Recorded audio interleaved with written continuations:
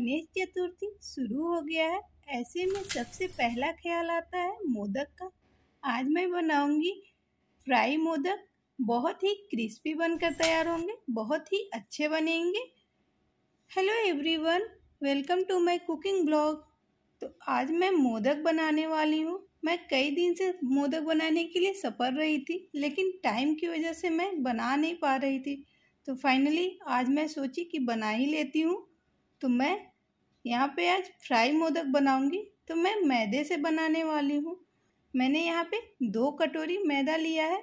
अब हम इसमें मोयन के लिए घी डाल देंगे, जिससे कि मोदक एकदम खस्ते, यानी कि एकदम क्रिस्पी बने। तो मैं यहाँ पे चार छोटा चम्मच डाल रही हूँ।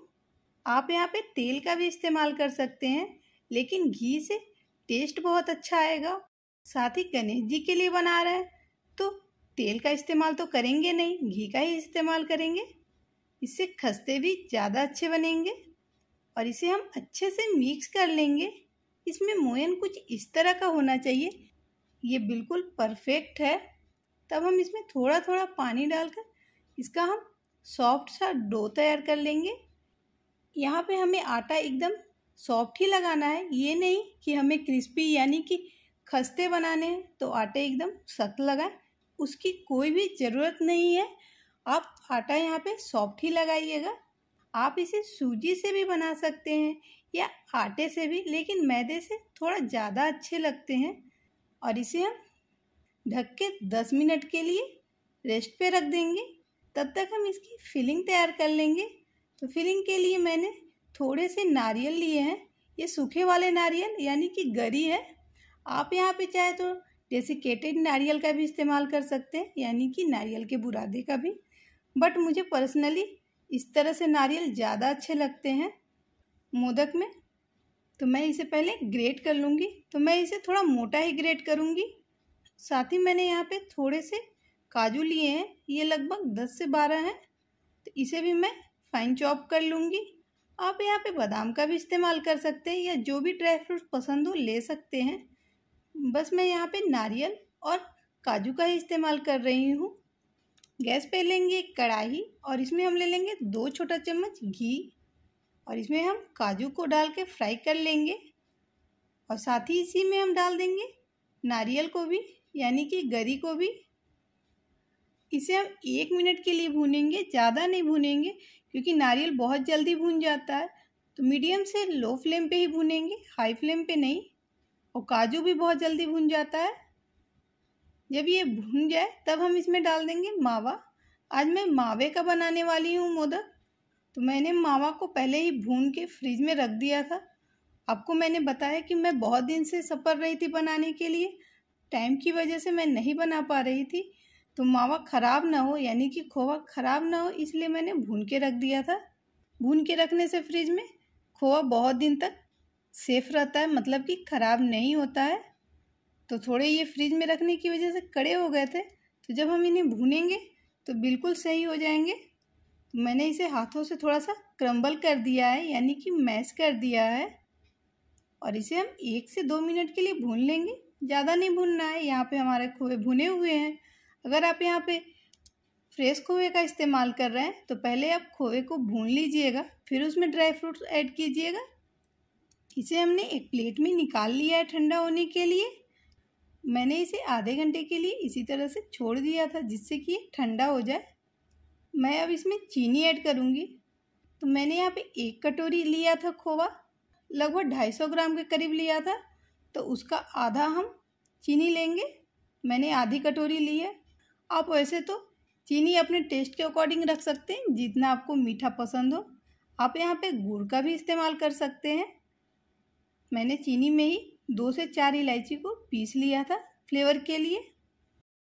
जितने देर में खोआ ठंडा हो रहा था, उतने देर में मैंने ये काम कर लिया था। ऐसे तो मोदक बहुत तरीके से बनते हैं और बहुत तरीके की फिलिंग भी होती है।